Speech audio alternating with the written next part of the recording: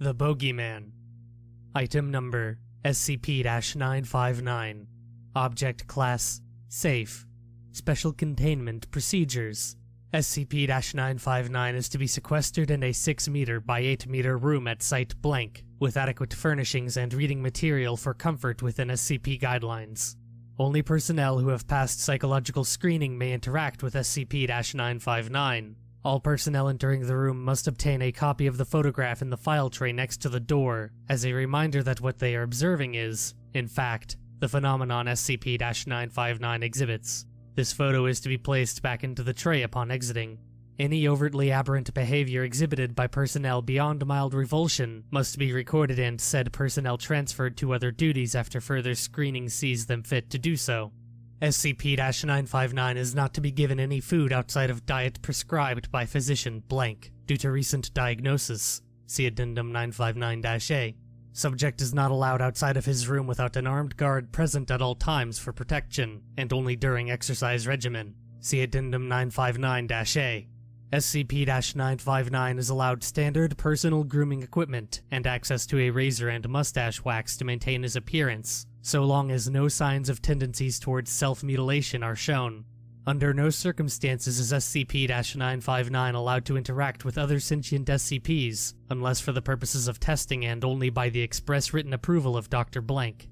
Under no circumstances are any personnel who were previously assigned to SCP 231 2 to be assigned to SCP 959 due to data expunged. More information, see video attachment to Incident Report blank.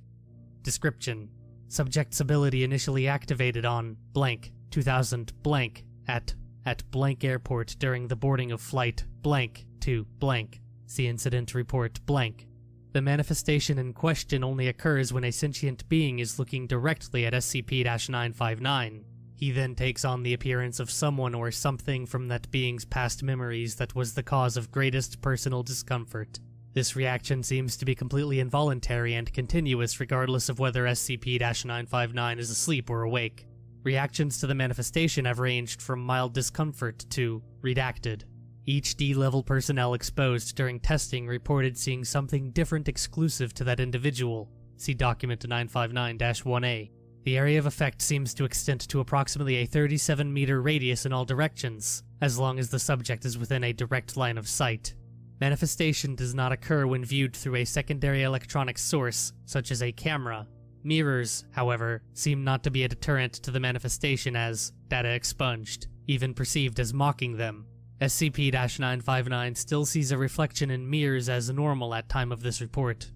SCP 959 is a 35 year old Caucasian male with brown eyes, bald head, and brown handlebar mustache, standing approximately 1.6 meters tall and weighing 137 kilograms.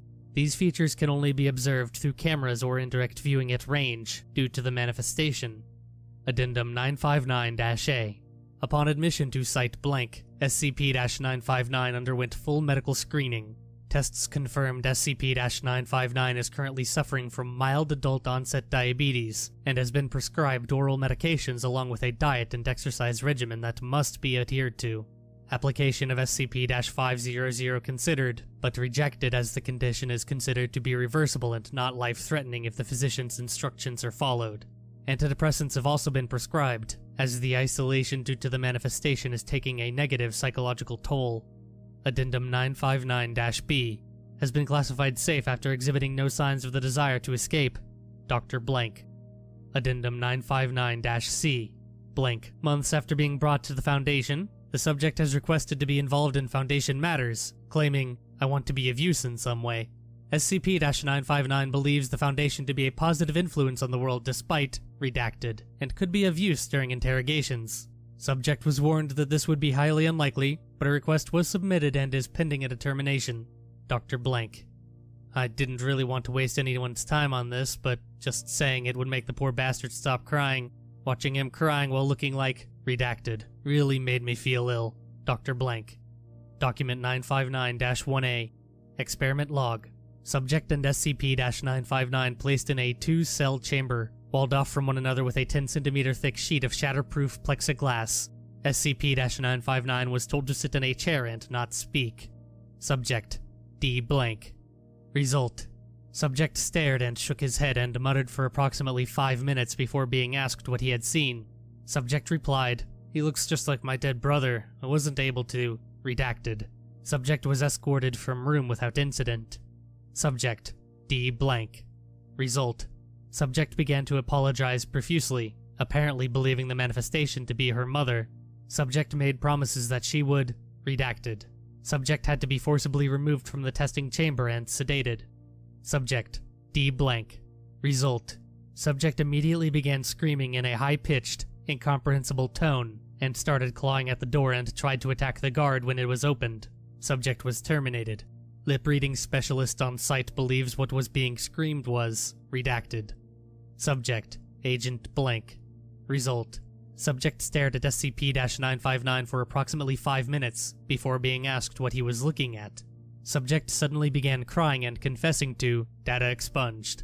Subject had to be removed and sedated. Upon removal of the subject, SCP 959 vomited and asked that testing be halted for the day.